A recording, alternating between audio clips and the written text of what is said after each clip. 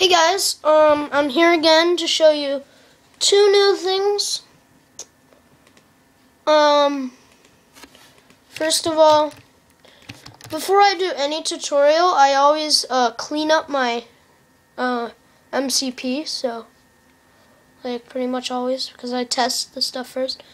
Alright, I put in jars. What you can do is you can go to uh, you can go to minecraft.net. So you can go to download. This will be here even if you don't buy the game, you can still get this. And uh, you can, and there's download Minecraft for whatever, and multiplayer multiplayer server. So you go to multiplayer server and there's gonna be uh, a Minecraft server dot jar. So you're just going to want to download that. I already have it.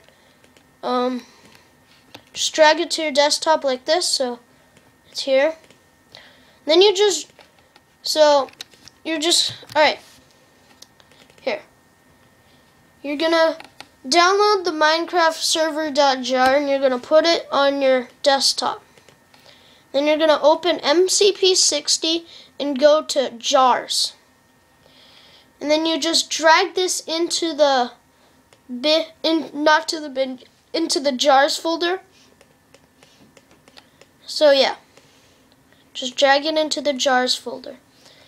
And then you're just going to want to open terminal, terminal, uh, CD. This will be in the, this is in the startup, how to do this, how to do the decompile thing. But even uh, if you already have the bin, the non-server one, uh, decompiled, don't worry about anything. Just, just do decompile over again. Just, uh, just go to CD, drag in your MCP60 folder, and then write bash and then drag in your decompile. Eh. Right. Hit enter and it'll decompile.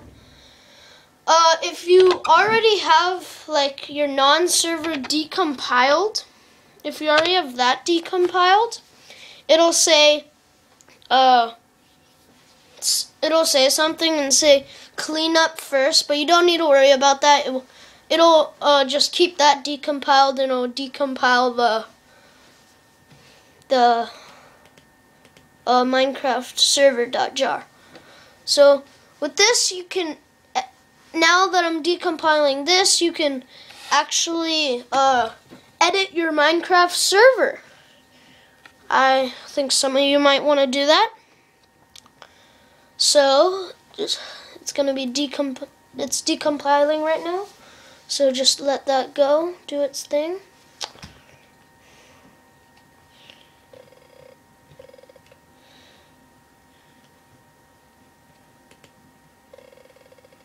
Alright, it's almost done. Okay. No, is it quite done? Is it done yet? No, it's almost done. Should be done soon. Just let it go. Wait a second.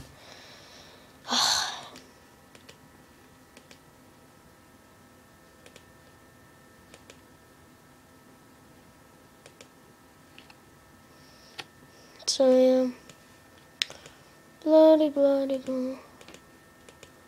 All this stuff. Oh yeah, if you guys don't have Eclipse or anything, and for whatever reason you don't want to get it, you can just go to SRC, Minecraft, Net, Minecraft, SRC, and then you'll have all the stuff. It's just I highly don't recommend this because you have to be like a pro to work with this. I I can't do it. I know I can't. So just don't just don't do that. Don't just but see now that this is pretty much done cleaning, uh, all right, it's I believe it's done. Wait, is it done? Oh my god. Ugh. Um, it's almost done. Come on. You're almost done. Oh my god. But since now it decompiled, if you go into your SRC, it already decompiled, you'll have Minecraft and Minecraft server. Minecraft server is the server thing. Is just is this the same thing just for your server. Which is pretty cool. Uh which is I I think that's kind of cool. Cuz I might want to do that. Anyways, um Ugh. Come on. Sorry about this. I'm sorry it's taking so long. I know. Alright, it's done. Now if you go to your MCP, unless I meant, uh, now if you go to your Eclipse, Eclipse, do do do. Ugh. Come on. And then, uh, when you enter this,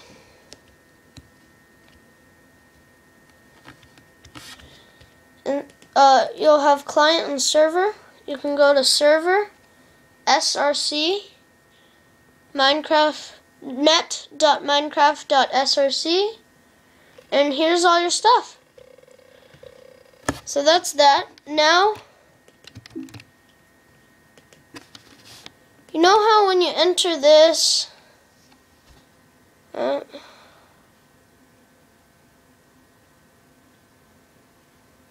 know how you enter when you enter the the Minecraft thing? It has that one server. This has is something cool. Is now that you have your here's your server, can't reach it. But what we could do is we can get out of Eclipse. You can put bash. And then if you look in here, there'll be something called start startserver.sh. Drag that in and hit enter. And what this will do is it'll start that server. So now if I go to Eclipse, so it's starting that server that we saw in saw in the Minecraft thing. So it's starting that. And if I go in there, it'll have it. So yeah, it has a, a Minecraft in there. Oh yeah, and if you don't have Eclipse, uh, if you don't have Eclipse and you don't have the screen button, what you can do instead of pushing that is you can just go to terminal and then you can just go cd drag in your mcp60 folder and then drag then hit enter put uh you know I'll just show you at the end of this video right anyways let's go to Eclipse see now we do this start this up uh, Ugh. God. Come on. Come on. Come on. Alright, now if you go to your multiplayer, here it is. And you can log in.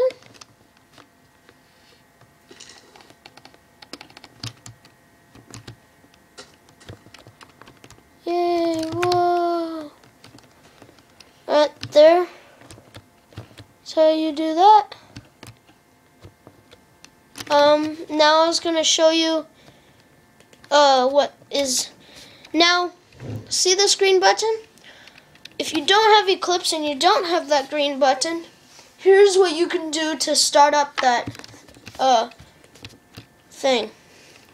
you can, okay.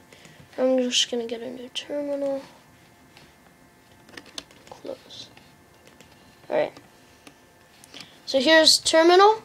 So you go CD space, drag in your MPC60 folder, hit enter, and then you go bash space start client sh. Just drag that in there. And this is the equivalent as pushing that green button. So instead of having to do this, you could just push that green button, and that is one of the great reasons of why I love Eclipse. Oh yeah. See? Yeah, that's why I love Eclipse. So, thanks for watching and see you next time.